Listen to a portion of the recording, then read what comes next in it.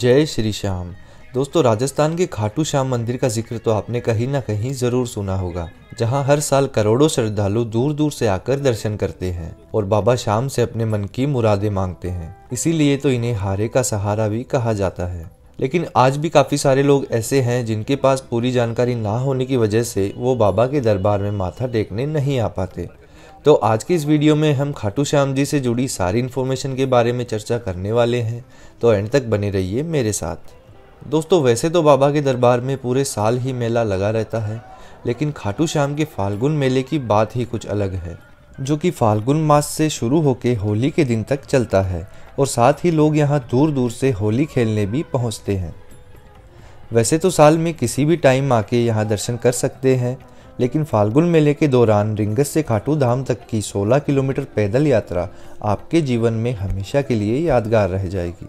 तो चलिए पहले आपको बता दें कि खाटू धाम तक कैसे पहुँच सकते हैं।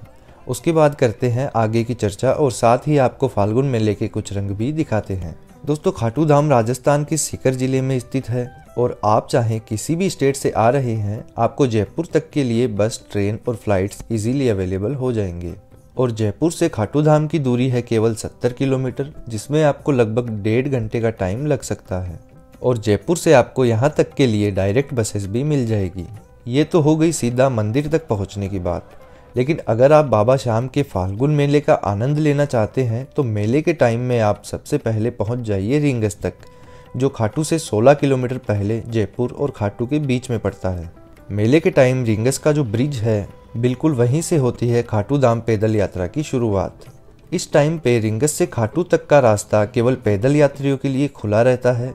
जो लोग व्हीकल से आ रहे हैं, उन्हें रिंगस से 21 किलोमीटर आगे पलसाना होते हुए दूसरे रास्ते से खाटू धाम तक पहुँचना होगा। पैदल यात्रा के बिल्कुल शुरुआत से ही आपको इस तरह के झंडे दिखना शुरू हो जाएँगे, जिन्हें यहाँ की लैंग्वेज में बाबा के निशान कहते हैं। श्रद्धालु अपनी पैदल यात्रा के दौरान इन निशान को साथ लेके चलते हैं और मंदिर पहुँच के इन्हें बाबा को अर्पित कर देते हैं। और कुछ श्रद्धालु तो रिंगस में ही अपने चप्पल, जूते वगैरह उतार के आगे की यात्रा नंगे पाँव भी करते हैं। तो चलिए हम भी रिंगस से शुरू करते हैं खाटू धाम के लिए अपनी पैदल यात्रा। मेले के टाइम ये रास्ता चौबीसों घंटे चलता रहता है। आप चाहे दिन में आए या रात में, रास्ते में श्रद्धालुओं की भीड़ के साथ साथ आपको काफ़ी सारे भंडारे और सजे हुए पंडाल हमेशा खुले मिलेंगे। दोस्तों, ऐसा माना जाता है कि बाबा श्याम महाबली भीम के परपोत्र और महादेव के आराधक हैं और इनका असली नाम है बर्बरिक। महादेव से इन्हें वरदान में तीन बाण मिले थे, जिनसे ये तीनों लोगों पर विजय प्राप्त कर सकते हैं। इसीलिए इन्हें तीन बाणधारी भी कहा जाता है। और साथ ही इनका ज़िक्र महाभारत में भी किया गया है। जब कौरवों और पांडवों के बीच युद्ध हुआ, तब भगवान कृष्ण को ये शंका थी कि अगर बाबा श्याम ने कौरवों की तरफ़ से युद्ध किया तो पांडवों की हार निश्चित है। इसीलिए श्री कृष्ण ने बर्बरिक से उनका सर दान में मांग लिया और अपना शीश दान करने के बाद बर्बरिक को श्री कृष्ण से यह वरदान मिला कि वो कृष्ण के रूप में पूजे जाएँगे। इसके बाद उन्हें शीश के दानी भी कहा जाने लगा और भक्त आज श्री श्याम के नाम से उनकी पूजा करते हैं।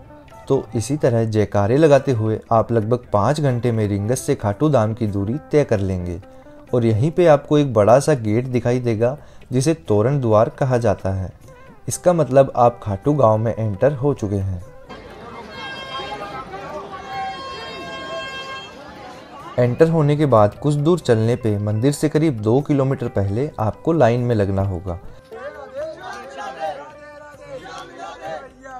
लाइन की दूरी और टाइम भीड़ के अकॉर्डिंग कम या ज़्यादा भी हो सकती है और लाइन में आपको एक घंटे से लेकर पाँच से छः घंटे का टाइम भी लग सकता है।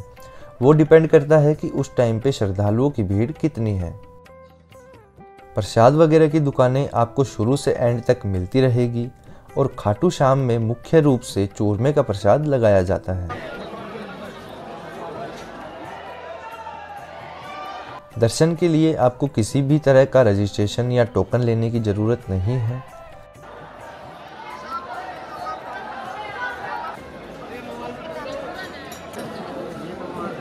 तो आराम से बाबा के दर्शन करने के बाद आप चाहें तो यहाँ स्टे भी कर सकते हैं। होटल्स धर्मशाला की सुविधा यहाँ आराम से अवेलेबल हो जाएगी। या आप चाहें तो सीधा यहीं से बस पकड़ के वापस रिंगस तक भी आ सकते हैं। उम्मीद है इस वीडियो से आपके काफ़ी सारे डाउट्स क्लियर हुए होंगे। फिर भी आपके कोई सवाल है तो आप कमेंट करके पूछ सकते हैं। तो मिलते हैं किसी नए सफ़र में। तब तक के लिए हर हर महादेव।